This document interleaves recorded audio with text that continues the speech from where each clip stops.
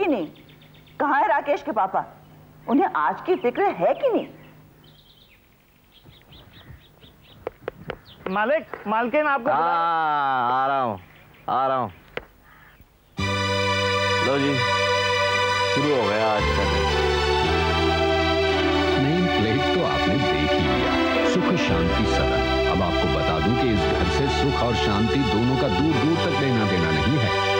ये भवानी शंकर शर्मा है। Sharma group of companies के मालिक अपने काम से वॉलंटरी रिटायरमेंट ले चुके हैं। आजकल घर पर ही पाए जाते हैं। जैसा कि आपने देखा, इन्हें बागवानी का बहुत शौक है।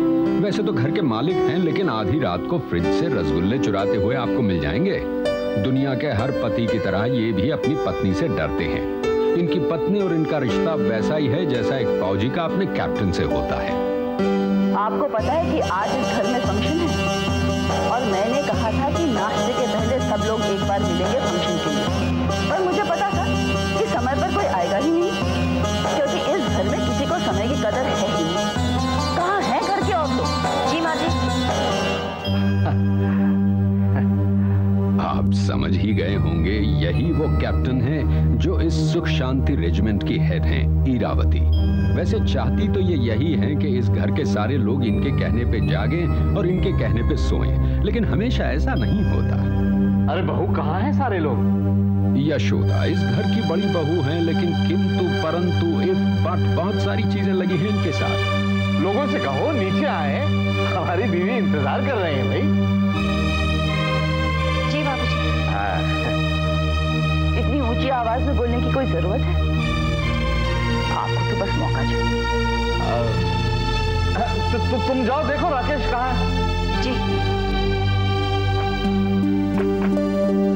ये भवानी शंकर के बड़े बेटे हैं राकेश। कंपनी की सारी ज़िम्मेदारी यही संभालते हैं। राकेश शादीशुदा हैं लेकिन हमारा ये मानना है कि अगर इनकी शादी इनके ऑफ़िस के फाइलों और इस लैपटॉप से भी कर दी जाती तो भी उन पर कोई असर नहीं पड़ता। क्योंकि खाते पीते उठते बैठते यहाँ तक के सपने में भी कंपनी और कंपनी के फ़ायदे के बारे में ही सोचते हैं। आपको माजी ने नीचे बुलाया है। मालूम है मुझे। माँ की तो आदत है रोज सुबह सुबह सबकी मार्च पास कराने की। कम से कम आज के दिन तो ऐसा मत कीजिए। यशोदा मैं बहुत ज़रूरी काम कर रहा हूँ। मैंने कहा ना तुमसे तुम नीचे जाओ। मैं भी आता हूँ। ठीक है। ये हैं भवानी शंकर के दूसरे बेटे प्रतीक फ़िलहाल बड़े भाई की मदद करते हैं। अब ये अलग बात है कि इनके बड़े भाई इनकी मदद लेना नहीं चाहते। लॉ की पढ़ाई की है, इसलिए हर जगह कानून और ईमानदारी का राग अलापते हैं।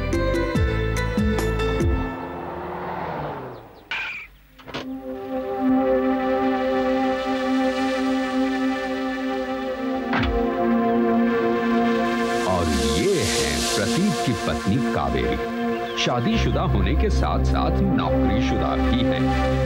नौकरी शब्द बेमानी है। कावेरी समाज सेविका है। घर में भी मिनरल वाटर पीती है। दुनिया की सारी दुखी और सताई हुई औरतों का ठेका है इनके पास। इनकी नज़र में शादी भूल है।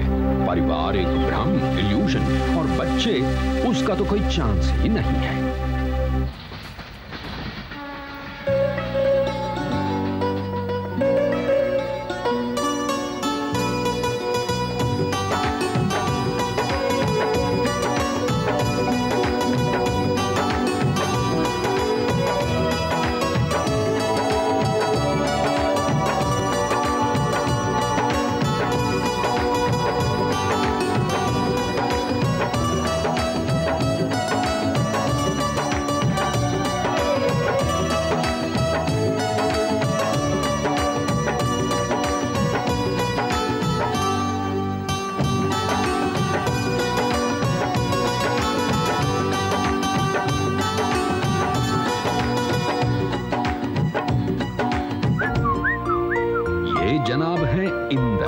इस घर के घर जवाई। आए तो थे म्यूज़िक डायरेक्टर बनने बन गए अमीर घर के गरीब दामाद। इसलिए आजकल बच्चे को संभालने की ड्यूटी देते हैं। और ये जयंती है। भवानी शंकर की इकलौती बेटी लेकिन होशियार सावधान ये बहुत गुस्से वाली हैं। आधे घंटे से मुन्ना रो रहा है। और लोला मेरा बेटा लोला था लो ना तो लो कमाल करती हो तुम। बच्चों को भूख लगी है और तुम ब्यूटी पार्लर गई हुई थी। अभी आया कहा मर गई? हम्म? उसे आज बहुत काम है। तुम जानती हो? इंदर प्लीज़ आया से कहो इसे दूध पिलाकर सुला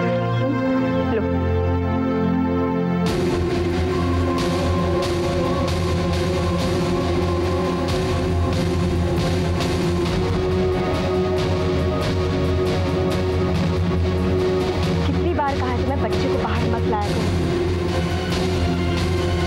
किसी का पड़ गया तो?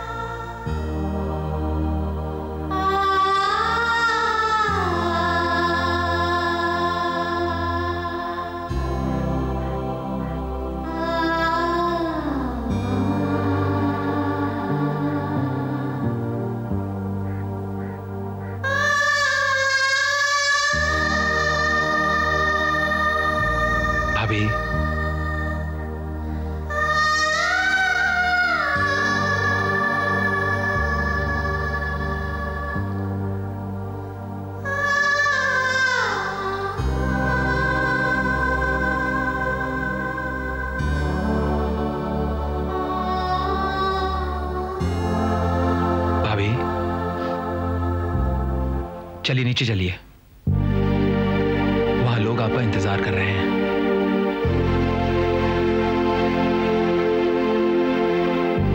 प्रतीक तुम अच्छी तरह से जानते हो कि कोई भी मेरा इंतज़ार नहीं कर रहा।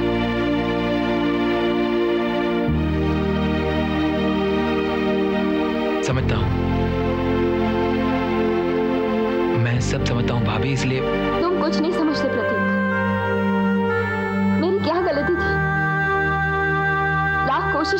बावजूद मैं उसे नहीं भुला पा रही हूँ, प्रदीप। नहीं भुला पा रही भाभी, कहीं ना कहीं इन सब में मेरी गलती भी है। दोष हमारा है।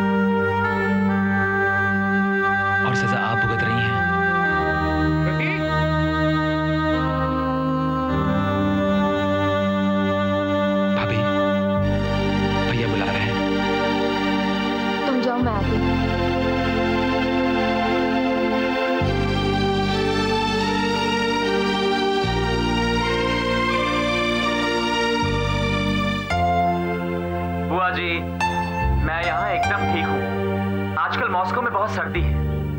ऐसी सर्दी हिंदुस्तान में कम से कम मैंने तो नहीं देखी। इस देश के लोग, यहाँ का कल्चर बुआ जी बहुत कुछ हमारे यहाँ जैसा ही और इन दिनों मैं लेनिन गार्ड घूमने आया हूँ। आप लोगों की बहुत याद आई जी करता है कि बस उड़कर अपने देश, अपने घर आप सभी के पास पहुँच जाऊँ बुआ जी आपके कबूतर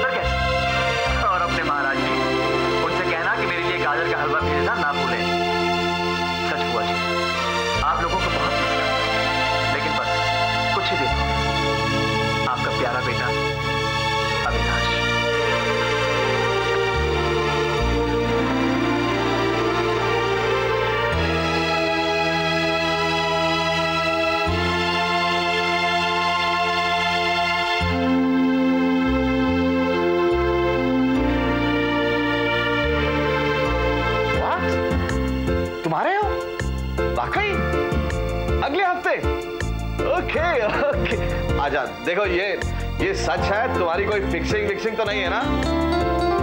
ना ना डोंट वरी चिंता मत करो बिल्कुल टॉप सीक्रेट रहेगी। तुम्हारी माँ भी सोचेगी कि मैं क्या चीज़ हूँ है? मालिक।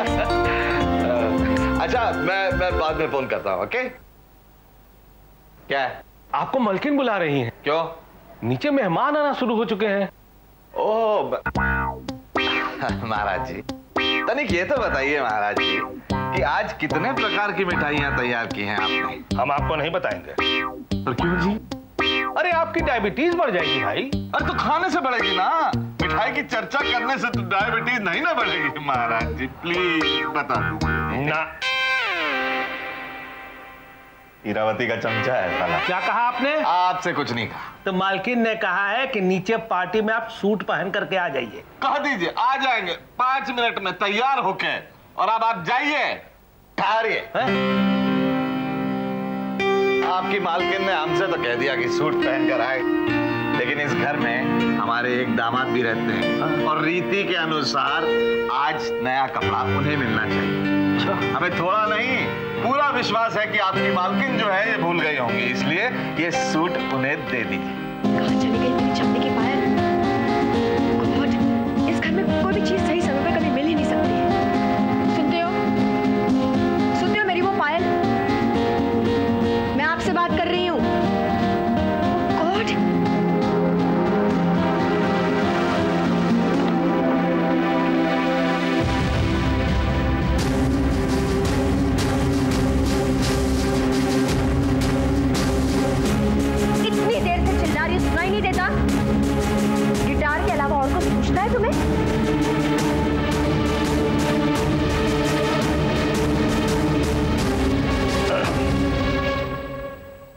बिटिया मालिक ने मेहमान जी के लिए सूट भेजा है।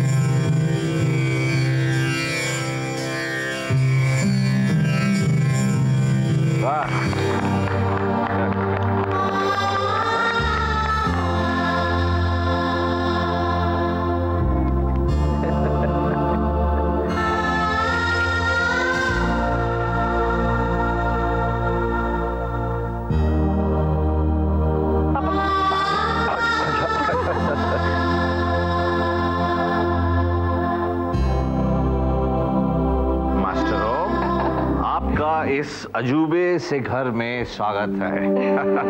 वेलकम लिटिल वन वेलकम यो मेरी प्यारी बीवी कम से कम आज के दिन तो मुस्कुराओ।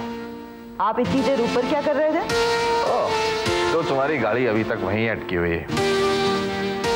तुम्हारे लिए एक सरप्राइज़ है। कोई आने वाला है।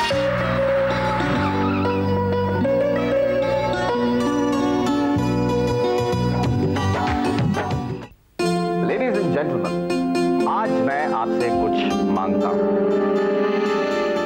हालाँकि ये परंपरा के खिलाफ है कि घर आए मेहमान से कुछ मांग की जाए, लेकिन क्या करूँ?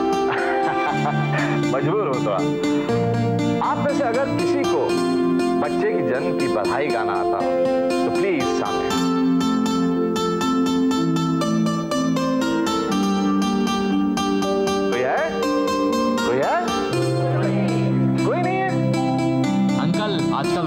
का जमाना है। अरे रॉक एंड रोल गाना तो सब जानते हैं बेटा। लेकिन अपने देसी महक वाले संगीत की बात ही कुछ और है। ये क्या बेहूद अजी बेहूद की? पापा को तो बस मौका मिलना चाहिए।